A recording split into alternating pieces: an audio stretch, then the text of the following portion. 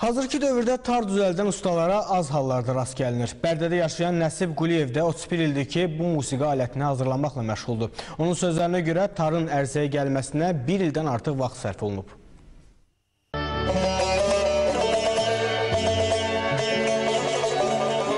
Hazırlanması bir ildən artıq vaxt alır. Qiyməti isə materialına görə dəyişir.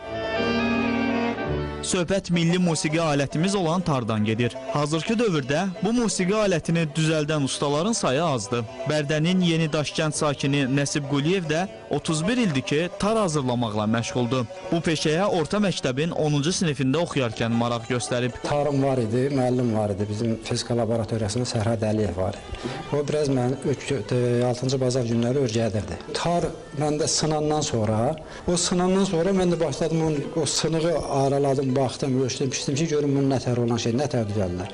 Ondan sonra 85-ci ildən başlamışam tar düzəltməyə. Nəsib Quliyev deyir ki, tarın çanaq hissəsi tutdan, digər hissələri isə qoz ağacından hazırlanır. Çanaq ərik, qarağac və qoz ağaclarından da hazırlana bilər. Ərikdən hazırlanan alətin səsi daha yaxşı çıxır. Çanaq qış aylarında kəsilən yaşlı ağacdan düzəldilir. O, yonulduqdan sonra ən azı bir il ağac şəfəyin içərisində qurudulur. Qalıq qurumalıdır ki, sonra fəsadlar olmasın. Çanağın ağız görkəmi əyilə bilər və yaxud o qulpu küpü deyirik, bu qalxır, forma alın, itir.